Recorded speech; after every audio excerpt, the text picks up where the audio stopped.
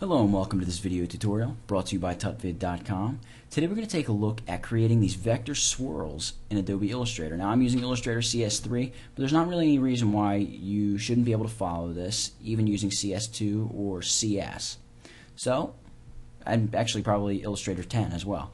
So you should be able to follow along with this regardless of what version of Illustrator you have going back for several years now. We're going to create this vector swirl object, convert it to a brush, and then we're actually going to learn how to uh, create, excuse me, another type of vector swirly, swooshy something or other, and how you can, you know, begin assembling some sort of masterpiece artwork that you have in mind. So that's what we're going to take a look at in this video. It's actually pretty simple to do, but maybe not quite done the way you think. But whatever way, these are pretty popular ways to go about creating swirls and swooshes and everything else you want to call them. I'm just going to start by going File like I just did, New Document, and here, width 640, height 480, and I'm just going to set to landscape orientation. Hit OK. And here is our document. I'm going to collapse this dock so we have more space to work with. And the first thing I want to do is grab the spiral tool. That is probably hiding underneath the line segment tool for you. So just click and hold and grab the spiral tool. Next, come to the bottom of the toolbar, right down to this corner, and we're going to select the fill, and that brings that to the foreground. Note my color panel just opened. Ignore that. You can collapse it again if you want. And we're going to select the little slash button, the none. The hotkey for that actually is the backslash, as Illustrator is telling me in that little tooltip. We're just going to select the slash button, which clears the fill. It only gives us a stroke which is what we want. So we're going to click and drag with the spiral tool. Now you can see I've been playing around with the spiral tool and it doesn't really look like a spiral. You can use your up and down arrow keys to increase the amount of spiral or decrease the amount of spiral. I want there to be a decent amount of spiral here, so I am going to hit my up arrow key several times like I just did and let go.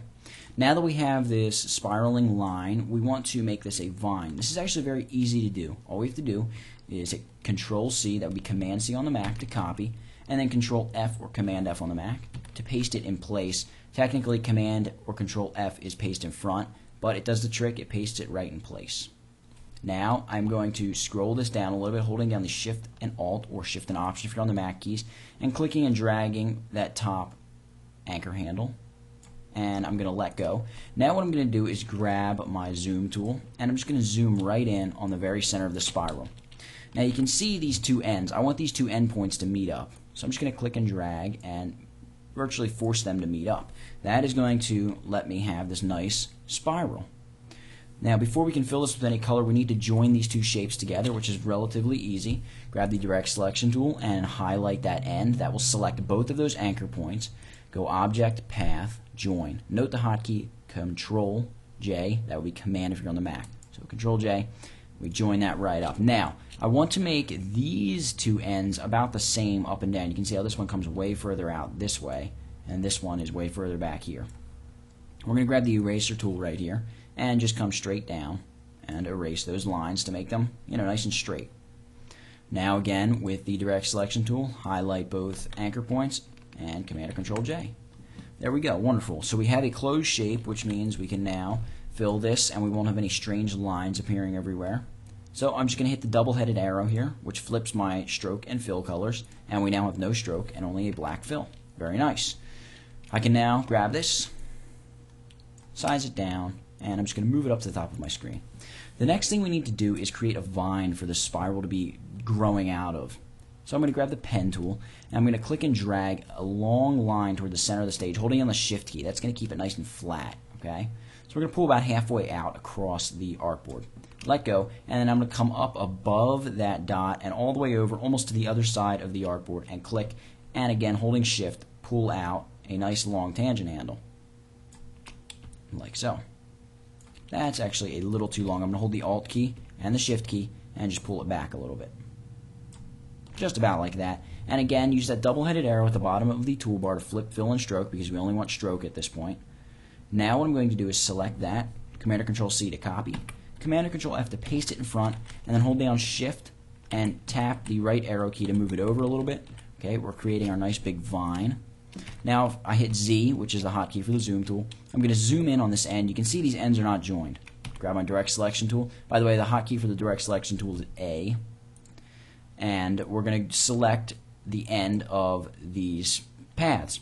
Now, real quick, before I go any further, you may be wondering if you have not used Illustrator much before why I'm using the direct selection tool, which is the white arrow, as opposed to the selection tool, which is the black arrow.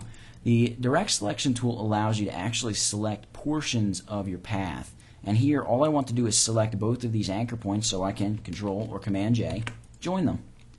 If I were to use the black arrow tool, when you use that, it selects the entire path. It doesn't allow you to select simply a small portion or even a single anchor point of a path. The direct selection tool allows you to directly select a portion of the path. So that's why I use that for this. Again, Z to grab the magnifying glass, and we're going to zoom in on the other side of this, grabbing the direct selection tool, select both of those end anchor points, Command or Control J to join them. And voila, we have a closed shape. Now I will use the selection tool and select this, hit that double-headed arrow to swap fill and stroke, and we get a nice, solid, sloping vine or branch. We are going to affix this swoosh to that, or the swirl. Really, this is more of a swirl than a swoosh. I'm going to tilt it a little bit, rotate it with the uh, selection tool here, and I'm going to drop it right onto that vine, just like that. Now, before I take care of this end that's sticking out, I'm going to duplicate this. Hold down the Alt key. If you're on the Mac, that would be Option, and just click and drag and drop anywhere. Now I'm going to go Object, Transform, Reflect and I want to reflect this along the horizontal axis because that flips it upside down. You can imagine the horizontal axis runs back and forth. That's the x-axis. So this would flip around that almost as if you're watching a person flipping around a bar or you know anything really spinning around a bar. Whereas the vertical is more like you know a pole that goes from floor to ceiling or simply a swinging door. You're swinging from side to side. So we're, we're concerned with the horizontal axis because we want this to flip right over. Now I'm going to size this down, holding down Shift and Alt again to scale it to the middle and constrain proportions. Rotate it a little bit to make it uh, about the right you know rotation that I'm looking for to make it look like it's going to roll right out of this vine. Now, when I zoom in here, you can see we definitely have problems because we have this whole chunk of this swirl sticking out here and this whole chunk sticking out up here. A couple things we need to do to take care of that's really super easy. First thing, select this arrow to open up our layer and just lock up this layer right here. Matter of fact, if I, I'm just going to click on this and hit panel options and make my thumbnails a little larger. You can see here I have my vine. I want to lock this up because I don't want to erase any of that. And that should clue you into what I'm going to do. I'm going to grab the eraser tool and simply erase away that portion of the swirl. Now note when I did that, it looks like, ah, I'm getting rid of a bunch of the vine. But as soon as I let go, you know, Illustrator shows me no, I haven't I haven't damaged the vine. You have that on that locked layer. So also up here, I just want to erase that part of that swirl that's sticking out. So there we go, perfect.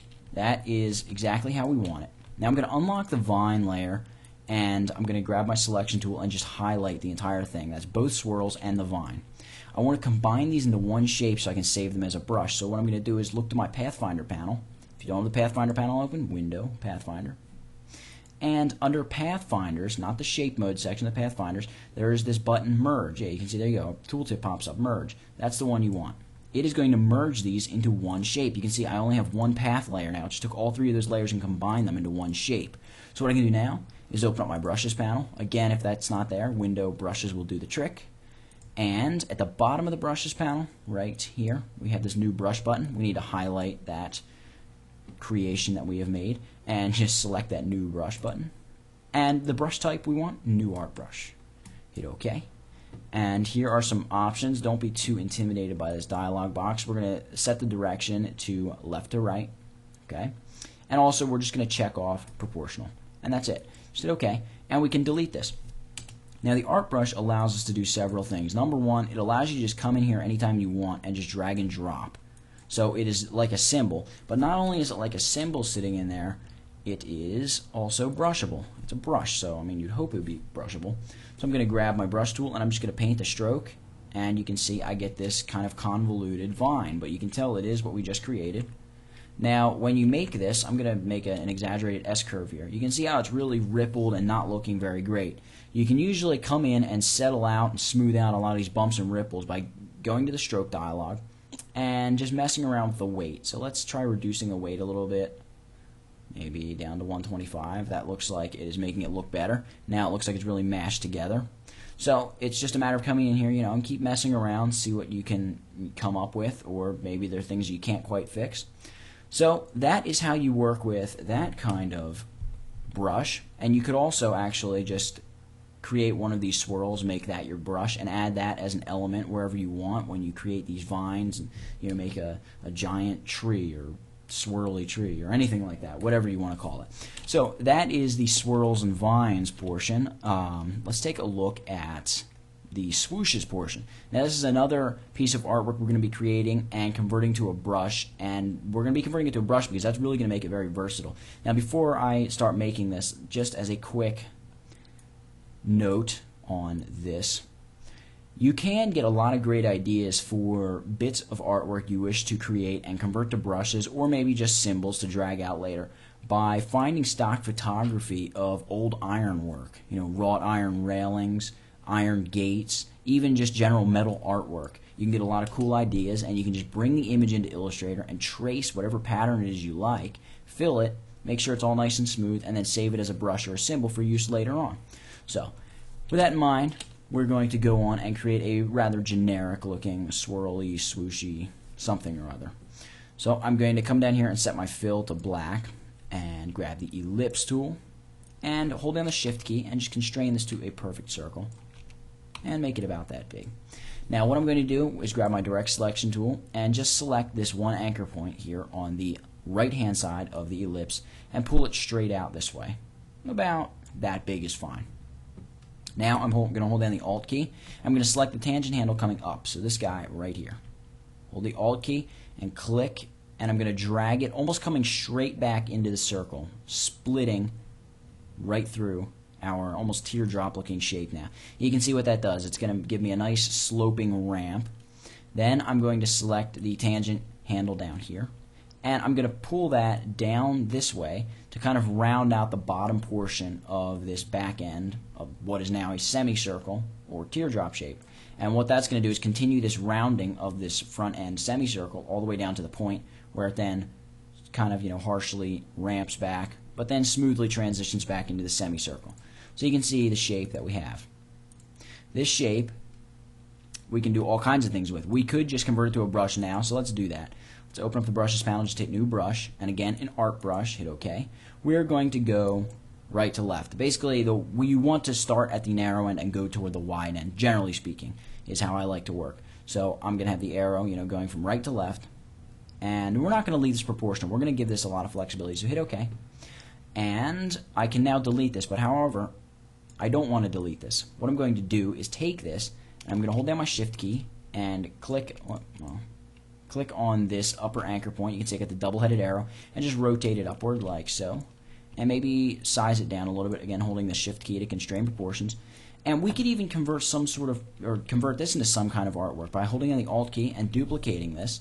And, you know, let's come in here and see if we can maybe add it there, okay? It sort of makes this interesting shape. Maybe if we rotate it a little bit, like that. Okay, maybe bring it down here a little more and maybe rotate it back out a little bit, okay, like that. All right, I'm going to duplicate this, and with this duplicate, I'm going to hit Object, Transform, Reflect, and I'm going to reflect along the vertical axis. I just want to flip it over that way. Hit OK, and I'm going to rotate this way like that, and that's actually a little bit too much. I'm going to bring it back this way, and just like that. So you can see there we've created almost you know, some kind of a cool, maybe end of a flower. Matter of fact, what we can do here is with all three of these shapes, come to the Pathfinder panel and select Merge, and we now merge those together. I can size this way down, even further than that, something like that. And I can grab the Pen tool at this point, flip my fill and stroke, so I've got a nice black stroke, and I'm going to pull out of this. And you can see what, what I can do here is just create, oh, actually, I'm going to come around this way.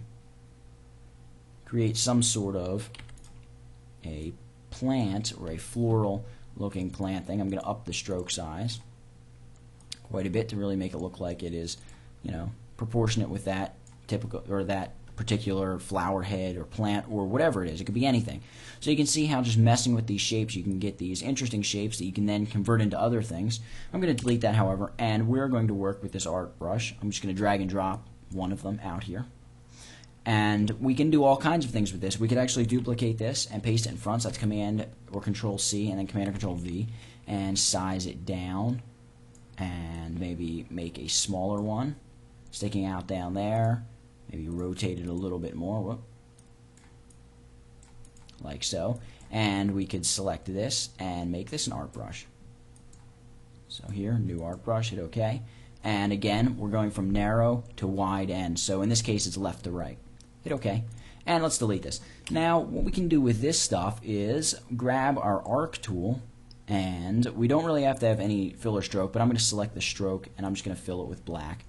And I'm going to draw an arc. Now, the up or down arrow keys give you an arcier arc, or, you know, basically an arc that has more straightness to it and less of a bend. You can see it just basically looks like one quarter of a rounded rectangle there. Hit the down arrow key and we have more of a rounded off arcing arc. So I want the arcing arc. That's why I use the arc tool. Now with this arc, what we're going to do is simply select one of these two brushes. I'm going to use the more complex one. You can see we get this sort of strange looking shape, but here again, we're just going to go to the stroke panel and play around with the weight. So I'm going to reduce the weight to about 0.5 points. And there we go. We have this nice shape. Now I can duplicate this shape, com shape Command or Control C, Command or Control F to paste it in place, and I'm just going to simply go Object, Transform, Reflect, and I'm going to reflect it along the horizontal axis, hit OK, and I'm going to rotate it up like so. And I get this nice double shape. Now what I'm going to do is grab my spiral tool and draw a spiral. I'm going to hit the down arrow key several times though to make it a simpler spiral, like so. And I'm going to use the simpler art brush now. You can see what I have. It almost looks like a fish wrapping around inside of itself. We are going to decrease the weight again as we did before. Maybe increase to 0.75. That's not too bad. And I'm just going to drag and drop this maybe right here. Bring it off of that a little bit. We rotate it some bring this guy up, drop him right in there. Just sort of, well, I still don't like that quite that much. Maybe more like that. And you can see that just by building or placing these together, you can get some really cool shapes. We could even duplicate this whole thing.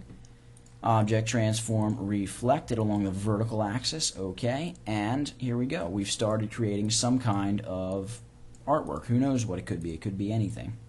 I'm actually going to move this up or over a little bit to make that line up nicely. So we have this sort of artwork that we're starting to put together. Now, what we need to do next is begin selecting pieces of this and going object, expand appearance, and it is going to give us a whole group of shapes and paths. Now the best way to make sure that we can convert this safely to a solid color is to you know select another one and again expand the appearance. And we would now select both groups of expanded appearance objects. So we have these two remember?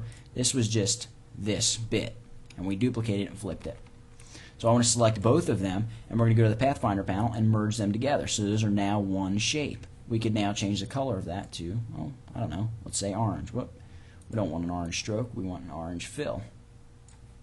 Okay? Sort of like that. It's more peachy than orange but there we go orange and then this down here, again, we can just go expand appearance. And now when, in this case is a perfect example, when you don't have an object to merge with, like for instance, if I don't want to merge with this, I want this to be a different color.